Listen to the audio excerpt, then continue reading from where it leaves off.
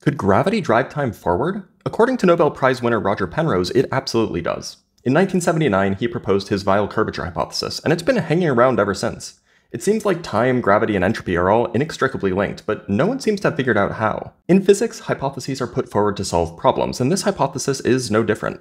The problem is that, according to the second law of thermodynamics, entropy should always increase over time or stay the same. But data from the cosmic microwave background radiation seems to suggest that the early universe was nearly perfectly uniform. And that means that, neglecting gravity, it was at essentially maximal entropy. It seems like doing anything but stay exactly as it is would cause its entropy to decrease, violating the second law.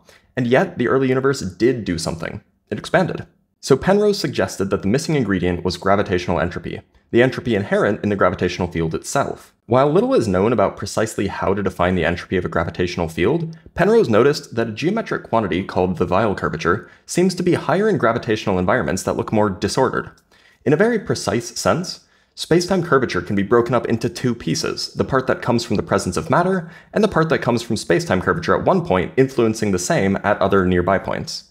The latter is captured by the Weyl curvature, and it's precisely the Weyl curvature that captures things like gravitational waves, which are emitted in particularly messy gravitational systems like in spiraling black holes. So Penrose hypothesized, what if the Weyl curvature was zero in the early universe? Then, even though the matter part of the entropy might be at its maximum value, the total entropy wouldn't be because the gravitational field would have been astoundingly orderly.